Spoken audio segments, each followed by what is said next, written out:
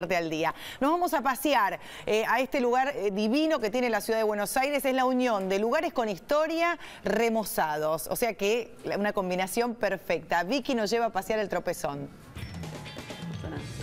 Sí, exactamente. Estamos acá junto a Raquel, que es la responsable junto a su familia de haber logrado la reconstrucción, la restauración de este lugar y de esta marca tan emblemática de la ciudad. Les quiero presentar además el lugar en donde estamos, que es un lugar un poco secreto. Estamos en el subsuelo eh, del tropezón, donde hay una, como una cava, hay un montón de objetos con historia y un recorrido por partituras, fotografías de Gardel, de personas que han venido a visitar este lugar eh, a lo largo de sus 123 años de historia que han sido reconocidos hace poquitas semanas como patrimonio de, esta ciudad, patrimonio porteño. Muchas gracias Raquel y felicitaciones por el lugar hermoso que han logrado reconstruir. No, gracias a ustedes por interesarse por la cultura de Buenos Aires.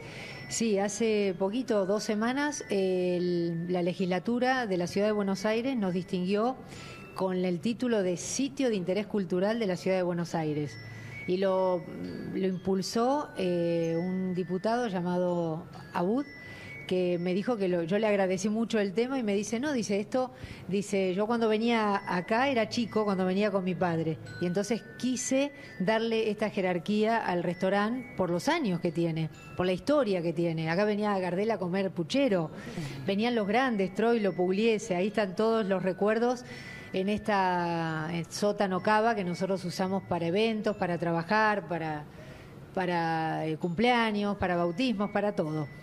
Exacto. Bueno, ya en estos 123 años eh, han pasado 34 en donde el tropezón estuvo cerrado y que cómo fue esta reapertura, digamos, cómo se encuentran ustedes con este lugar eh, cerrado, no, no sé si olvidado es la palabra, porque creo que no sé, algo tan simbólico y que está en tantos tangos y no sé si se olvida, pero digo, ¿cómo llegan ustedes acá?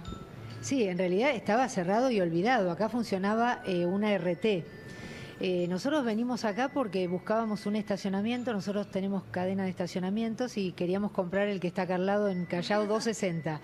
Entonces nos dijeron que nos vendían todo, incluido el local comercial.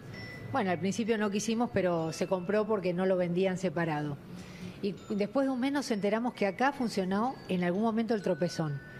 Entonces yo cuando me encuentro con una placa que está en la puerta todavía, que dice aquí funcionaba el antiguo restaurante El Tropezón, lugar de encuentro de poetas, artistas, políticos, digo, yo lo voy a abrir.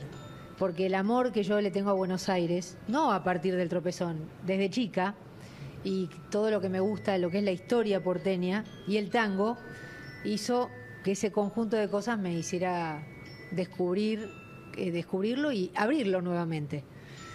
Mira qué interesante. Viste que cuando vos viajás por el mundo, quizás tenés la oportunidad de conocer ciudades como París o, Madrid, y viste que los lugares históricos eh, ellos lo saben como reciclar. Y me parece que eh, está buenísimo esto que ustedes hicieron con el tropezón, porque cuando vas de turista a otro país, visitas esos lugares y en tu propia ciudad no lo haces. Bueno, acá funcionaba una RT. Cuando yo entré a este lugar, que vi que la mayólica de afuera me avisó que era eso, porque ni siquiera el rematador ni los vendedores nos dijeron que había sido el antiguo tropezón. Y cuando yo entro acá y veo que estaba todo tapeado, todo, las mayólicas de las eh, claraboyas de bronce, eh, las bovedillas, las fundiciones, los calcarios, estaba todo tapado. Cuando empiezo a, destapar todo eso, me encuentro con el tropezón. O sea, fue una historia, realmente yo lo siento como una misión, como una misión, que Dios se valió de mí para decir, abramos esta joya de Buenos Aires que estaba olvidada y que realmente en el caso nuestro nosotros pensábamos a este local tirarle la medianera para hacer garage. Pero bárbaro. ¿Y, cómo vi que era el tropezón y ¿Cómo encararon toda la etapa de reciclaje y, de, poner, digamos, la puesta en valor? Llevó dos años, sí. Me llevó dos años hacer primero la investigación y la restauración del lugar. Eh, y bueno, eh, después tuve la suerte también que mi hijo, eh, Ezequiel Clemensic, que él es abogado, pudo comprarme la marca. Ellos, mi familia en un principio estaban muy eh, reticentes, no querían que yo abriera el restaurante, porque me decían que era una locura, yo ya tenía toda la administración de todos los garages. Y entonces mi hijo compró la marca y la puso a mi nombre y la escondió durante seis meses.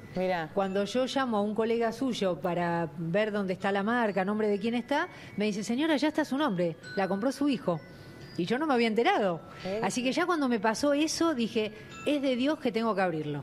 Porque ya eran muchas coincidencias. Yo jamás en mi vida pensé en tener un restaurante, ni lo quise, ni lo deseé y sin embargo todo se fue dando para que yo lo pudiera tener. Entonces digo, es, algo que está que me trasciende a mí. Eh, y bueno, por eso con todo el amor del mundo lo hice y soy muy feliz, o sea, siento felicidad de estar acá. Es mucho el trabajo que tengo porque estoy muchísimas horas, pero quiero que mientras yo lo pueda llevar adelante y, pueda eh, verse como se ve el restaurante, eh, que esté óptimo, que esté en el mayor punto de su esplendor así como cuando venía Gardel o cuando venía García Lorca o Lola Flores y todos los grandes que pasaron por este lugar.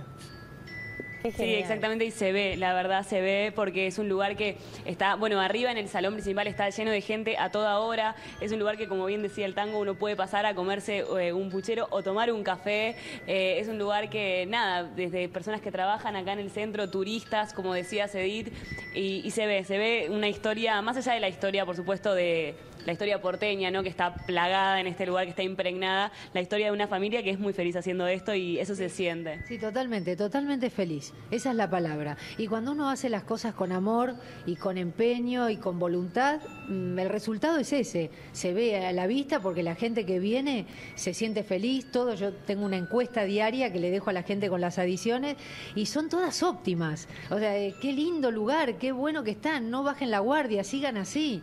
O sea, le hemos vuelto le hemos devuelto a Buenos Aires una joya que estaba perdida y que siempre que estamos por la reconstrucción y de tener las cosas antiguas, este lugar estaba desperdiciado. Y es un lugar grande, o sea, ediliciamente grande. Eh, ya lo puede corroborar Vicky, que está acá. Eh, es una cosa importante que se ha abierto. Pero bueno, siempre con mucha alegría y con mucha dedicación. Y ya lo, grande fue lo que nos hizo la, la legislatura de la Ciudad de Buenos Aires, que es poner este lugar como sitio de interés cultural de la ciudad de Buenos Aires. Y seguramente el reconocimiento. Les va a ir bárbaro. La, verdad que la historia muestra que, por ejemplo, alguna vez pasó con el bar de los Angelitos, que, estaba así como olvidado, lo recuperaron, le sacaron el lustre a, esos vitros fabulosos, como también con las violetas. Bueno, y ahora ganamos el tropezón allí en el barrio de Balvanera. Hay que ir a conocerlo, hay que ir a conocerlo. Invitamos a todos los porteños y a los turistas eh, de otras ciudades que vayan a conocer el tropezón allí, eh, este lugar hermoso que se ve precioso, que estuvo cerrado 34 años, que tiene un montón de historia ese lugar, ahora reciclado, remozado y con buena, eh, buena comida, seguro. Te felicito. Sí, es para hacer un documental, les digo, ¿eh? un documental entero del tropezón, porque entre la historia de la ciudad, de Gardel, de las personalidades y la historia de esta familia, y nos salteamos toda la parte de la comida, una comida riquísima que ni mostramos, pero bueno, quedará pendiente. Muchísimas gracias. Gracias a vos, Vicky, gracias a todos, gracias. Gracias Raquel y bueno, nos estaremos reencontrando mañana desde algún otro punto de esta hermosa ciudad. Hasta mañana. Muchas gracias Vicky, muchas gracias Raquel. Hoy fuimos a pasear entonces al tropezón y después le ponemos música a la tarde del programa después de esta pausa.